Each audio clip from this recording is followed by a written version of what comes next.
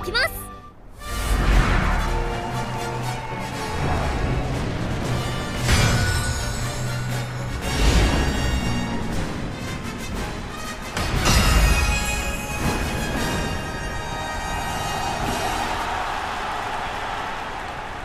美しい青空が広がる阪神レース場。ターフも絶好の両馬場になりました。十分に実力を出せるレースとなりそうですね。3番人気にはアイネス風神。2番人気を紹介しましょう。東海帝王。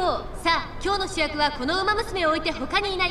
三冠馬娘目白ライアン。1番人気です。私が一番期待している馬娘気合い入れてほしいですね。ゲートイン完了。出走の準備が整いました。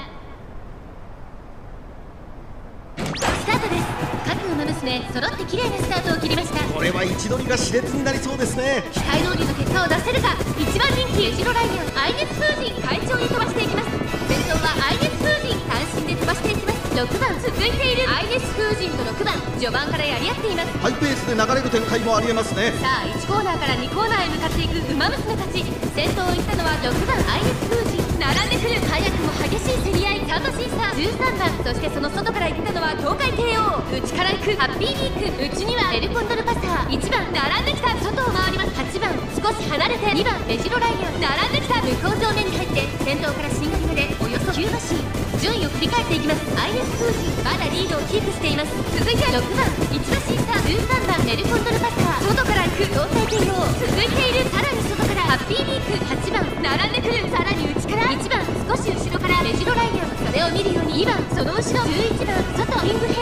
ヘイローエイシンフラッシュ追走そしてその外から行ったのはナリタブライアン。後方2番手に10番そして最後方14番アイネスフウジン先頭を進みますがこれは正解でしょうか？アイネスフウジン彼女の脚質には合っていますね。第4コーナーを進んで直線へ向かう。ウマ娘たちがどう動く